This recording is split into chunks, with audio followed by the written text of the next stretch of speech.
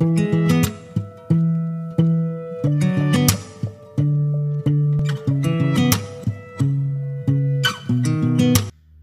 ocasiones en que queremos eh, regalar una botella de vino a un amigo que es muy aficionado y pensamos que ya lo ha tenido que probar casi todo. Y estamos ahí pensando qué regalar. O a veces queremos darnos un capricho y probar algo diferente, algo distinto a lo que cotidianamente estamos probando en España. Hoy os voy a aconsejar un vino que es eh, exótico, diferente, se puede encontrar muy habitualmente en las tiendas españolas, eh, pero es de un país lejano, es de Hungría. Vamos a hablar de un vino que ya cité cuando hablé de las etiquetas, porque realmente tiene una etiqueta muy confusa. En el vino podemos leer Oremus, que es el nombre de la bodega. La bodega, pues, eh, se encuentra en la región de Tokai. Tokai es una región húngara, su nombre completo es Tokai Eyoya, pues Tokai Eyoya se encuentra al noreste de Hungría, en unas montañas no muy elevadas.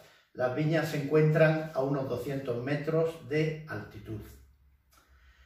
Y eh, después de la caída del telón de acero, cuando cayó el régimen comunista húngaro junto a todos los regímenes comunistas del este de Europa, pues eh, la familia Álvarez, que son los propietarios del grupo Tempos, que elaboran el famoso vino Vega Sicilia en España, pues decidieron invertir en esa famosa región de Tocaí.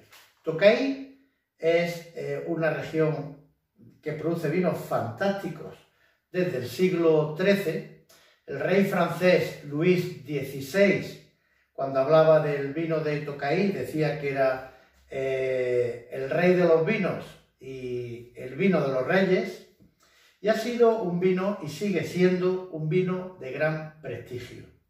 En el 1993, como digo, la familia Álvarez, propietario de Vega Sicilia, compraron eh, la bodega Oremus y dentro de los terrenos de viñas de la bodega se encontraba un viñedo llamado Mandolás y ese es el nombre de este vino. Vamos a probar el vino Mandolás de la bodega Oremus, propiedad del grupo empresarial Tempos de Vega Sicilia. Vega Sicilia, pues a partir de que la familia Álvarez comprara la bodega famosa en la ribera del Duero, pues sí hizo una expansión, abrió bodega en Toro, abrió bodega en Rioja y compró, como ya he dicho, esta bodega Oremus en Hungría. En la región de Tocaí, pues se produce tradicionalmente el vino famoso que hablaremos en un vídeo particularmente de él, el vino eh, hecho con, eh, a partir de eh, las uvas, se ven afectadas por un hongo que se llama Botrytis cinerea y por eso se dice que son vinos botritizados. También son vinos botritizados famosos, los de Sauternes, en Burdeos, Francia. Y en la región se denomina cuando los vinos son dulces y son vinos eh, eh, criados durante largo tiempo en barrica a partir de la uva botritizada, pues se llaman vino azul. La bodega Oremus de Vega Sicilia produce en Hungría vinos azul botritizados, que ya hablaremos si se, se clasifican por el número de putoños, que ya explicaremos en qué consiste en otro vídeo, pero hoy vamos a hablar de este vino. Cuando en 1999 la familia Álvarez hace, hace una nueva bodega en aquellos terrenos que producen vino desde el siglo XIII, y es eh, una zona declarada Patrimonio Universal por la UNESCO, o sea, es una zona muy importante en el mundo de los vinos. Pues ellos toman una decisión eh, pues muy particular. Además de producir los famosos Tokaí Azu, que son los dulces botritizados, pues deciden elaborar un vino seco a partir de la uva de la zona, que es la uva Furmint.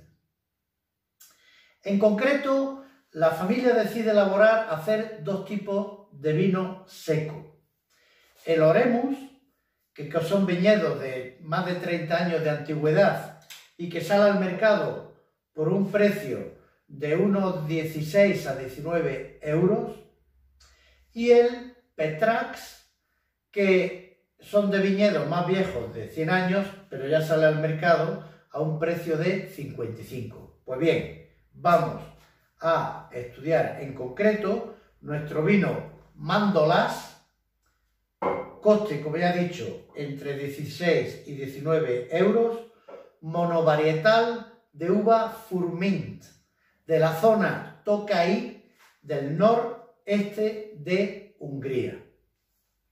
La uva Furmint, pues es propia original de Hungría, aunque ya se puede encontrar en otros países como Eslovenia o como Croacia o como Rumanía, pero es una uva eh, autóctona de Hungría.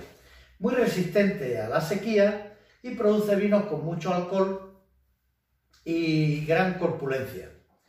Este vino, pues, eh, se recoge manualmente en pequeñas cajas, por supuesto. Eh, la fermentación se realiza la mitad en barrica de roble y la mitad en acero inoxidable. Y después el vino permanece en una crianza de varios meses con sus lías, haciendo el, lógico batonage o con un bastón o con un palo moviendo el vino para que no se contamine de los malos eh, aromas. Se utilizan mostos yema, mostos de poca presión en prensa para hacer este vino y vamos a ver qué sensaciones nos da. Tiene un color amarillo verdoso, como se ve, una capa baja media, una lágrima muy fácil de ver. El aroma es muy particular y no nos, no nos recuerda a ningún otro vino blanco de uva más normal aquí en nuestra península. El aroma es limpio, intensidad media, recuerda a, yo diría, a pera en compota, pera en dulce.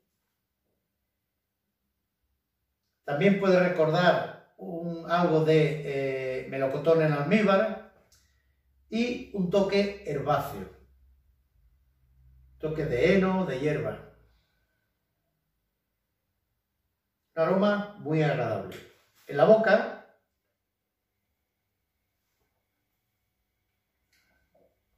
el vino es seco,